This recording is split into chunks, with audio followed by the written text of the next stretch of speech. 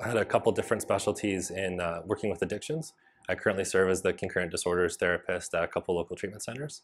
I've also pursued some additional training in EMDR and somatic work for helping to process traumas. And one of my passions is really working with men's mental health.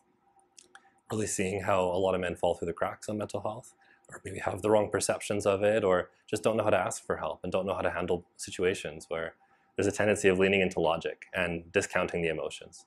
So really being able to find ways of looking at emotions as pieces of logic or pieces of the puzzle and kind of growing in that mental flexibility. A lot of people, they hit rock bottom and they say, I need help.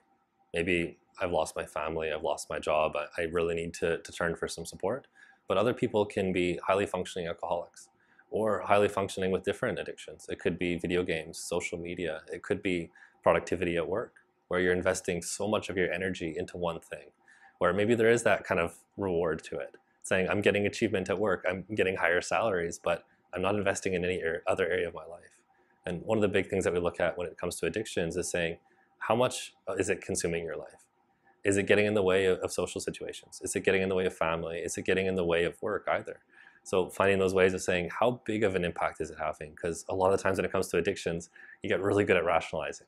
It's not that bad, I, I just do cocaine on the weekends. It's not that bad, I just drink when I'm with friends but then you're looking at how much you're actually drinking and it can be very different from what people tell themselves. Nobody chooses to drink the amounts that people get to or do the drugs that they're doing.